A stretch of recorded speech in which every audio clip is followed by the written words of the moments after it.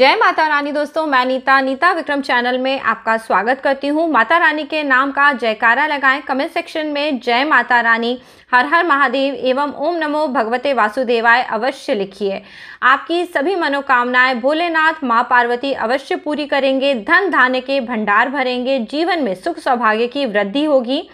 दोस्तों, अधिक मास का महीना चल रहा है। अधिक मास में करे जाने वाले पुण्य कर्मों का फल दस गुना होके आपको प्राप्त होता है। अधिक मास में भोलेनाथ, माता पार्वती का भी पूजन इत्यादि करा जाता है, जिससे जीवन में आ रहे कष्टों से मुक्ति मिलती है। धन, धान्य, सुख, सौभाग्य का आशीर्वाद आपको प्राप्त होता है। दोस्तों, बड़ा सोमवार आ गया है। इस दिन पे आपको एक शब्द बोलना है। इस शब्द के बोलने से जीवन में आ रहे सभी तरह के कष्टों का नाश हो जाएगा। यह उपाय आप सोमवार से शुरू करके चाहें तो पूरे अधिक मास में कर सकते हैं। उपाय बहुत ही आसान है। इसको आसानी से आप अपने घर में किसी भी जगह बैठ के कर सकते हैं। इस उपाय को करने मात्र से आपके घर में पॉजिटिविटी आएगी। सभी तरह की कलेश दूर हो जाएँगी और जो आपकी मनोकामनाएँ होंगी, उनको पूरा करने का रास्ता आपको दिखने लगेगा। जल्दी से दोस्तों नीता विक्रम चैनल सब्सक्राइब करिए। वीडियो के नीचे बने हुए लाल रंग के सब्सक्राइब के बटन को प्रेस करिए और बाजू में बनी हुई घंटी अथवा बैल के आइकन को प्रेस करिए। इससे आपको व्रत पूजा पाठ संबंधी सभी जानकारी निःशुल्क प्राप्त होंगी और पूजा पाठ में आपसे कोई गलती नहीं होगी। आज का वीडियो अधिक से अधिक लोगों के साथ शेयर करिए। इससे आपको धर्म का लाभ होगा और जीवन में पुण्य फलों की प्राप्ति स्वतः हो जाएगी। दोस्तों अधिक मास का महीना जिसे हम पुरुषोत्तम मास, मल मास भी कहते हैं। इस महीने को श्री हरि विष्णु की कृपा प्राप्त है। आप सभी जान के आश्चर्य में पड़ जाएँगे कि कुछ विशेष समय साल में होते हैं, जिस समय पे यदि आप कोई भी कार्य करें, उस कार्य का आपको बहुत शुभ फल प्राप्त होता है। इसलिए हमारे वेदों और ऋचाओं में वर्णन है कि इस समय पे मनुष्यों को सांसारिक कार्य न करते हुए अपनी आत्मा की शुद्धि, अपने आत्मबल को बढ़ाने के लिए कार्य करने चाहिए, जिससे आने वाले भविष्य में वह इसका फ़ायदा उठा सके, उनका कल्याण हो सके। दोस्तों, इस समय पे जो कॉस्मिक एनर्जी होती है, वह इतनी श्रेष्ठ होती है कि वह स्वयं प्रभु का आशीर्वाद के रूप में आपको प्राप्त होती है। परंतु इसका कुछ विशेष समय होता है।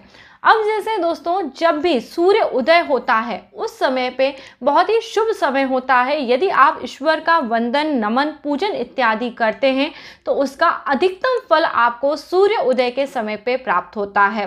यानी सूर्य उदय के 48 मिनट पहले से लेकर 48 मिनट बाद तक यदि किसी भी शब्द को कहा जाए वह आपको चमत्कारी रूप से अच्छे और अद्भुत परिणाम देगा। यहाँ पे मैं मंत्र जाप की बात कर रही हूँ।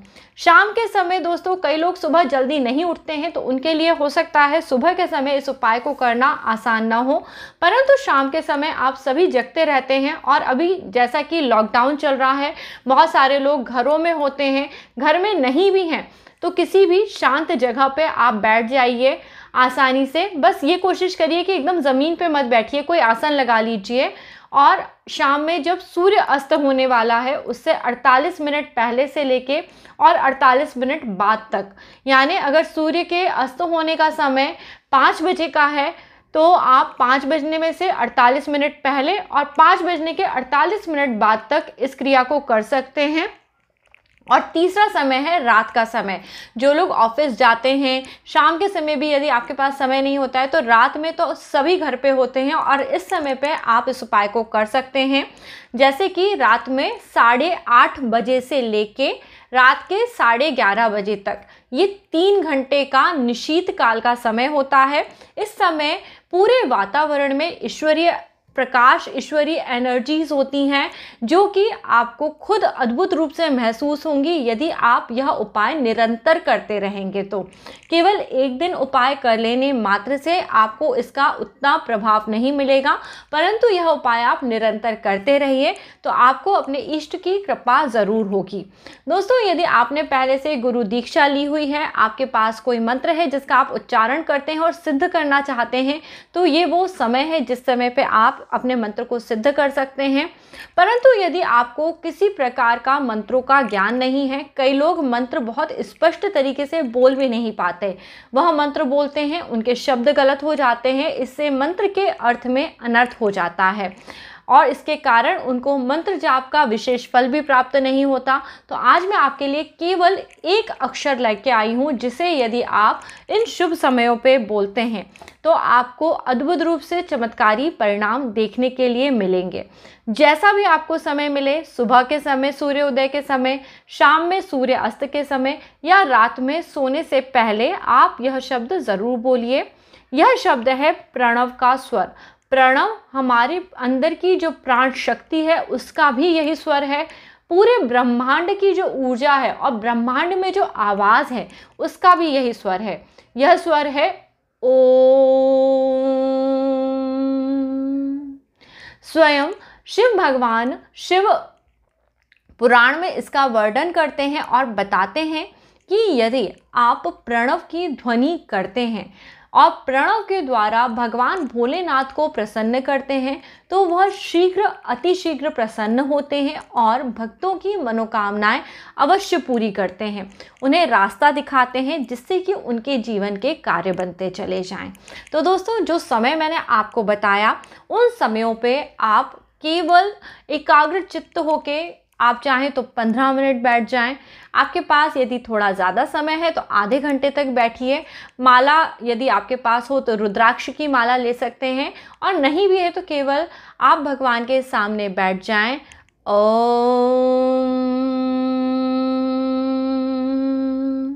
इस तरह से बोलते रहिए और बिल्कुल, विषयों के बारे में, दूसरे लोगों के बारे में, घर की चिंता, कोई भी प्रॉब्लम, सबके बारे में ध्यान छोड़ दीजिए और भगवान के चरणों में जो भी आप कहना चाहते हैं, वैसे भाव रख के बैठ जाइए। कहीं पे भी बैठिए आप अपने घर में, पर आपको इस पूजा का अधिकतम फल प्राप्त होगा। परंतु आप इस समय पे यदि दीपक प्रज्वलित करते हैं, सुगंधित अगरबत्ती लगा लेते हैं और पूजा घर में बैठ के इसको करते हैं तो आपका ध्यान भी अच्छे से लगेगा और आपको शीघ्र इसके परिणाम देखने के लिए मिलेंगे। दोस्तों, इसके अलावा अधिक मास का यह समय श्रीहरि विष्णु का समय है। विष्णु इस पूरे संसार के पालन करता है। जो भी इस समय पे पेड़ों को लगाता है, जी हाँ नए वृक्षों का रोपण करता है। और उनकी देखभाल करता है, उसे भगवान का अधिक आशीर्वाद प्राप्त होता है। साथ ही साथ इस पूरे मास में आप पानी की सफ़ाई करते हैं, यानी जल स्रोत इत्यादि को साफ़ सुथरा रखते हैं। उनके आसपास कुछ ऐसा प्रबंध करते हैं जिससे कि जल दूषित न हो, इससे भी प्रभु अति खुश होते हैं। ऐसे लोग जो गरीबों की, यानी नर नारायण की सेवा करते हैं, उन्हें भोजन देते हैं, किसी भी प्रकार की उनकी ज़रूरतों को पूरा करते हैं। इस प्रकार के कार्य करने से श्री हरि विष्णु, माँ लक्ष्मी की कृपा आप पे होती है और जीवन का जो दुर्भाग्य होता है, उसका नाश हो जाता है। इस पूरे समय में आपको अपने मन में अच्छे विचार रखने चाहिए और सदैव भगवत भक्ति के भजन करने चाहिए। जो लोग इस समय में जब तब पूजा पाठ कर रहे हैं, उन्हें यह सभी फल कई गुना होकर प्राप्त होते हैं। जो लोग किसी इच्छा को पूरी करने के लिए कोई विशेष पूजा पाठ कर रहे हैं उनकी पूजा पाठ भी सफल हो जाती है। साथ ही साथ इस पूरे मास में विष्णु सहस्र नाम का पाठ करने से भी आपकी मनोकामनाएँ पूरी होती हैं। तो यदि आपको समय मिलता है तो आप विष्णु सहस्र नाम का पाठ कर सकते हैं। यदि आपके पास समय नहीं है तो केवल भगवान के चरणों में एक पीला पुष्प अर्पित कर देने मात्र से भी भगवान आपकी सभी तरह की मनोकामनाओं को पूरा कर देते हैं। यदि दोस्तों आप भोलेनाथ के मंदिर में जाते हैं या आपके पास घर में कोई शिवलिंग है, चाहे वह पारद का शिवलिंग हो, स्फटिक का शिवलिंग हो, आप उस पर अभिषेक ज़रूर करिए। शिवलिंग का अभिषेक करने से भोलेनाथ अति प्रसन्न होते हैं और आपकी जो भी मनोकामनाएँ होती हैं, उन्हें शीघ्र पूरा कर देते हैं। खासतौर पे जो लोग अध्यात्म और भगवान की भक्ति करते हैं, उन्हें शिवलिंग का पूजन करना चाहिए।